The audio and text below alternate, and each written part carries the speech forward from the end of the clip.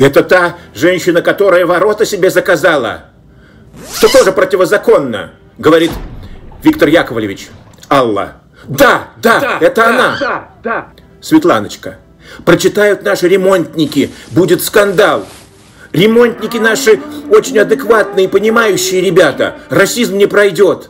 Они в курсе проделок этой барышни. Более того, соседи, кто увидит лично, что она что-то делает в этом духе, снимите на камеру, очень прошу, вышлите мне или в чат. Нам нужны живые доказательства. Ее послужной список этой крысы пополняется с каждым днем.